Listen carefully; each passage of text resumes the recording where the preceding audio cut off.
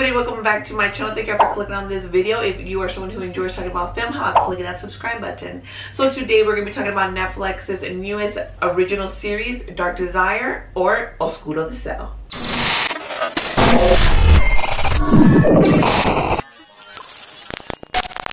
don't worry you guys i won't be doing this review in spanish. I did contemplate it but i really want to get into it and i want to be like struggling with uh trying to figure out the spanish word. Let me let you guys know for starters this series is not for everybody. Also before i officially start this is going to be a spoiler review. So if you are looking into seeing this series and you don't want spoilers, go ahead and hit pause. Go binge watch the show. I binge watched it last weekend. Like those times where I'm like, no, not the TV. But if you don't mind spoilers, then stick around. I'm going to spoil pretty much everything except the very last final twist. So The Oscuro Deseo is a telenovela soap opera. Um, it is in Spanish with some English subtitles. I'm gonna tell you this right now.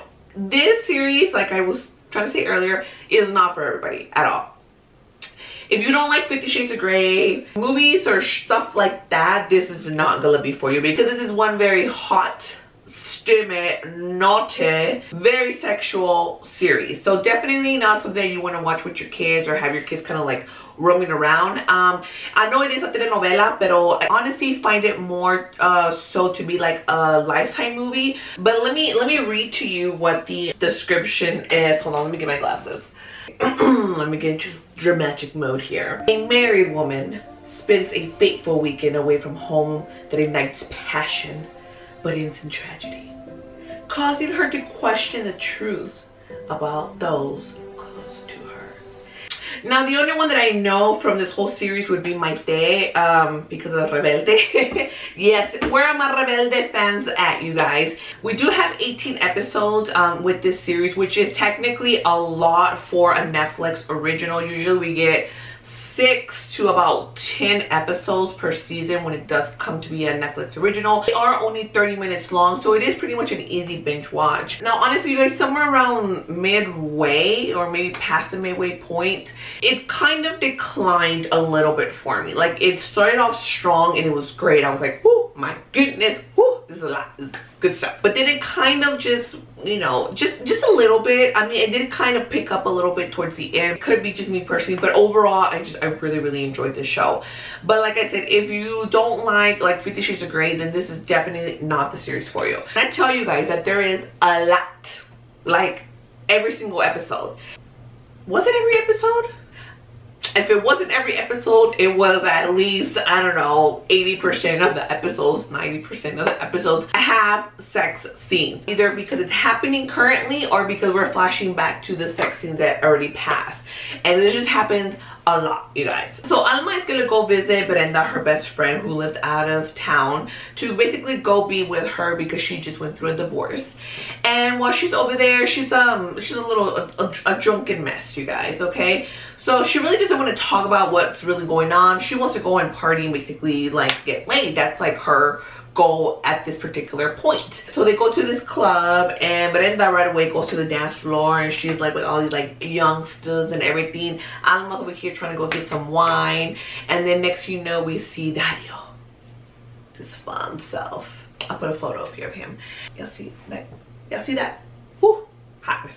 So Dario spotted Alma and that's kind of where everything kind of goes shit from there. Later on in life we find out there was a different plan going on which involved Dario actually was there to find Brenda because of her involvement which we'll get to later but I'll go ahead and give you that particular spoiler now. One of the, the things that I did know that was one of my earlier predictions was that I bet you now Dario is doing all this with Alma to get back to the uh, juez uh, which is a judge, which is Alma's husband. I was like, I bet you all this has something to do with him. And he's fucking around with her to fuck around with, with the husband. And that is true. That is, it. yes, you guys. Woo! Okay, I'm trying to like keep these as contained as I can because this could be a long video you guys because we're we're literally recapping 18 fucking episodes you guys and there's a lot Dario's giving Alma like all this sexy charm. I mean, again, do, do you see this? Okay.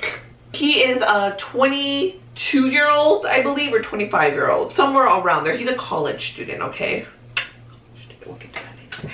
Hold on, because I keep getting ahead of myself because I'm just too excited about this, okay? So Alma suspects that her dear old husband and juez, the judge, Leonardo, is cheating on her with his secretary, Edith. He was not cheating on her, okay? But he was, little bastard, cheating on her but we'll get to that later. All this time, you know, she's just assuming. That's what you're not supposed to assume because then you end up making an ass of yourself and then like you get entangled like Jada says. Body's telling her yes, but her mind is like no. So Brenda comes around and it's all like, look, I found this like cute little fuck boy and I'm gonna go jump on that tree. Here are the keys to the house, have fun, take him home, jump on that tree, you deserve this peace. That's just the type of friend that she is okay? And i was seeing on twitter and a lot of people were really having a lot of hate on brenda because it's like what kind of friend is she? I can't believe she's doing this. You know what y'all? Let them be freaky. And you once we get to later part in the uh, episodes um pretty much find out why she's telling uh, her to go ahead and screw this guy. Enter first sex scene with Dario. Wait, was that the first sex scene? I don't know. You guys, first sex scene happened within like eight minutes of the series. Like, no joke. So I can't remember if it was with him or if she was with the husband. Either way it goes, it was about eight minutes in and it was sexy. This show, it knows what it is. It knows the, the targeted audience. Us targeted audience really enjoyed it. So Alma goes back home, but in the midst of that, Brenda kills herself. Or does she kill herself? Because it's kind of like how it goes throughout this whole mess. Alma is also a professor, because I'm a college student. But guess who enters? And we had kind of like a whole boy next door kind of feel, you know, the one with Jennifer Lopez. Yes, Dario decides to enroll in her class because he officially becomes a stalker, you guys. So we start off with a certain plot to fuck with the husband like I said. He falls in love with Alma and it's all like you ruined my plans because like I fell for you because you were the best sex of my life and I just I want you and I need you in my life. This motherfucker crazy. So the reason Dario had this plan was to get to Leonardo because it involves his father and before Leonardo was the judge he was just like a detective or whatever he was and um, basically there was this case that involved a little girl who was raped and murdered and they're trying to solve this case. And a scapegoat that's what it is. The scapegoat in this whole tragic murder that happened because you know again he wants to be the judge. Father actually you know of course goes to jail and he's like no i'm innocent. Like i was set up. The mom was also part of the setup. Like literally got like clothing and like sperm and like to plant dna on this little girl so they can blame the, the, the dad, okay? So, one of the witnesses, witnesses was Brenda. So that's what we end up finding out later on. So then it's like, oh, Dario then? Killed this person. The detective involved in this, well the unofficial detective would be Esteban, which is Leonardo's brother. He was a detective himself. He doesn't really believe that she killed herself. Uh, well, turns out that Brenda and Esteban had a thing going on. We turn and we find out other things and now we're like, oh, nope. It was Leonardo who killed her. That's when we get to the why Brenda was like kind of pushing Alma because the best friend and the husband were sleeping together, you guys. And then when Leonardo found out that Alma had an affair with Dario, and he's like coming up in her face talking about how could you? You were sleeping with the best friend. Don't you come at her. Don't you come at her. Because you had a whole little affair going. Mind you, she technically did, but this was just recently because she thought you were sleeping with Edith, your secretary. She was not. Let's get back to Brenda. Remember earlier, I said Brenda was having a thing with Esteban. Remember, Esteban is Leonardo's brother? Yes. This heifer was sleeping with both brothers. Neither one of them knew that they were sleeping with the, with with this girl until later when she was dead. Woo, you guys. Woo, I'm telling you, it's a good novela. It's good. It's a lot going on. It's a lot. We got we got um despair, we got infidelity, we got murder, uh, we got suicide because it turns out that she really did commit suicide because she was madly in love, not with Esteban, but with Leonardo. That is right, she fell in love with her best friend's husband.